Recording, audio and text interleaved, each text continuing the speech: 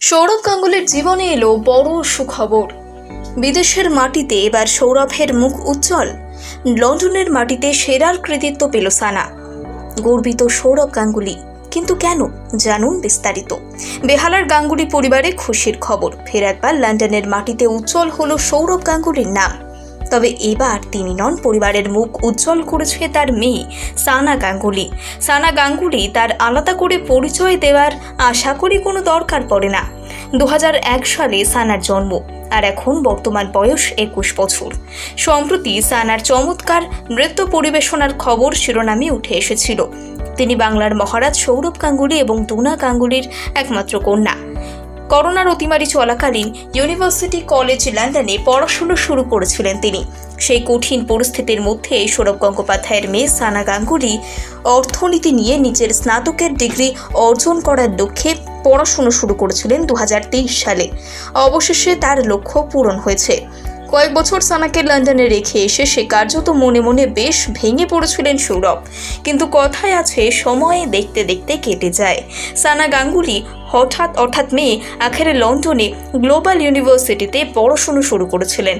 সদ্য তিনি তার পড়াশুনো এক অত্যন্ত গুরুত্বপূর্ণ ধাপ অতিক্রম করলেন। লন্ডন গ্লোবাল ইউনিভার্সিটি থেকে অর্থনীতিতে গ্র্যাজুয়েট হলেন সানা। মেয়ের সাফল্যে গর্বিত বাবা মা।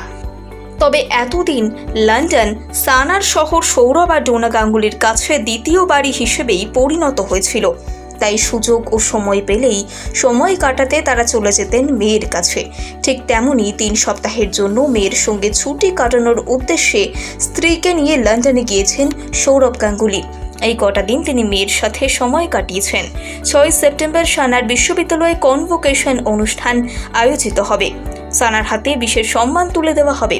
তার ডিগ্রি পূরণের জন্য মেয়ের সাফল্যে মা বাবা হিসেবে সেই অনুষ্ঠানে উপস্থিত থাকবেন সৌরভ এবং ডোনা। আগামী তেইশ কিংবা চব্বিশে সেপ্টেম্বর তারপরে কলকাতায় ফিরে আসবেন তারা।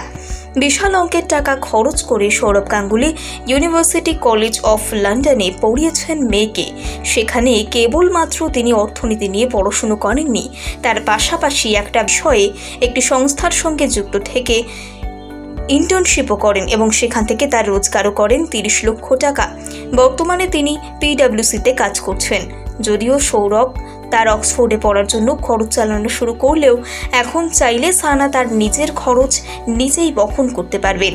আর এটি কম গর্বের ব্যাপার নয় মোটেই। সৌরভ গাঙ্গুলির জীবনে এলো বড় সুখবর। বিদেশের মাটিতে এবার সৌরভের মুখ উজ্জ্বল। লন্ডনের মাটিতে সেরার কৃতিত্ব পেল সানা। গর্বিত সৌরভ গাঙ্গুলি। কিন্তু কেন? জানুন বিস্তারিত। বেহালার গাঙ্গুলি পরিবারে খুশির খবর। ফের একবার লন্ডনের মাটিতে উজ্জ্বল হলো সৌরভ গাঙ্গুলির নাম।